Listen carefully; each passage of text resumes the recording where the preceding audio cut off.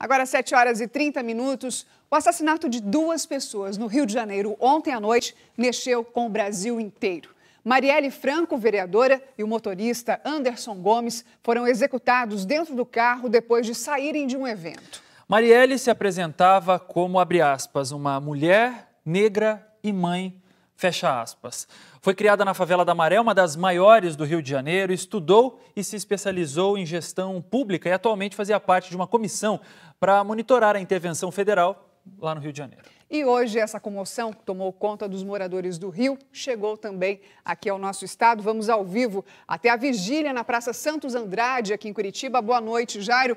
Pelo que você conversou com as pessoas aí, o que simbolizava Marielle nessa luta aí pela paz, não é?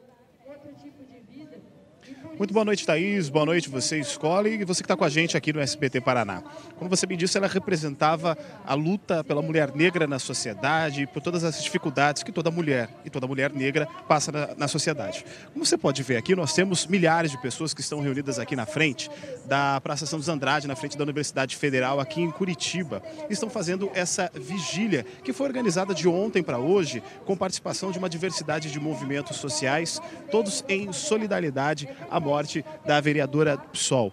Eu pude conversar com o pessoal aqui, a crença é comum, Thaís. Todo mundo acredita que se trata de uma execução, uma vez que a Marielle, lá no Rio de Janeiro, no papel de vereadora, estava denunciando alguns abusos que foram cometidos pela Polícia Militar do Rio de Janeiro em comunidades carentes naquela cidade. A comoção foi tamanha com a morte da vereadora, que conseguiu, como você pode ver, reunir uma diversidade de pessoas também aqui na capital do Paraná. Thaís. Obrigada, Jairo, pelas informações, viu? Olha, gente, o comentarista Paulo Martins diz que é preciso cautela, viu, e bom senso para discutir os reais motivos que levaram à morte de Marielle. A gente tem aqui imagens, inclusive, do momento do sepultamento. Muita gente na escola foi prestar sua homenagem aí a essa mulher que, no fim, representou a luta, não é, das mulheres por paz mesmo.